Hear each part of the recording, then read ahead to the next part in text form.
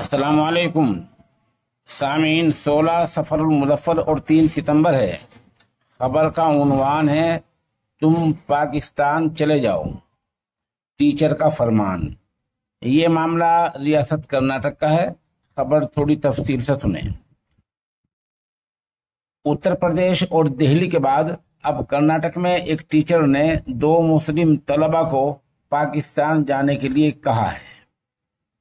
ये वाक्य कर्नाटक के शिमोगा इलाके के टीपू नगर में पेश आया, जहाँ मुलजिम टीचर ने पांचवी क्लास के दो स्टूडेंट को डांटते हुए कहा, हिंदुस्तान उनका देश नहीं है, ये हिंदुओं का मुल्क है।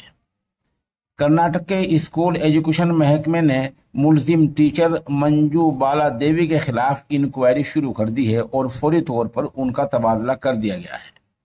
महकमे की ये कार्रवाई शिमोगा के मकामी जेडीएस रहनुमा ए नजरुल्लाह की जानिब से टीचर के खिलाफ शिकायत दर्ज कराने के बाद सामने आई है।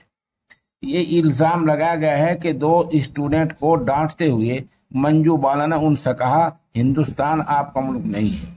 इंडियन एक्सप्रेस की एक रिपोर्ट के मुताबिक टीचर ने कहा, ये हिंदुओं का मुल्क है। तुम्हें पाकिस्तान जाना चाहिए। तलबा ने अपने घर वालों को वाक़े के बारे में बताया तब यह कार्रवाई हुई। उधर deputy director, public instruction, Shimoga, Parameshwar, Pasi are ने इस वाक़े बारे में सहाफियों को बताया, हमें जुमेरात को शिकायत मिली थी। ब्लाक एजुकेशन ऑफिसर की इब्तदाई जाँच की बुनियाद पर टीचर के खिलाफ कार्रवाई शुरू की गई है। बहरहाल, टीचरों के लगातार सियाह कारनामे सामने आ रहे हैं। मिली रहनुमाओं को इन पर गौर करने की और इनका मुतबादिल तलाश करने की ज़रूरत है।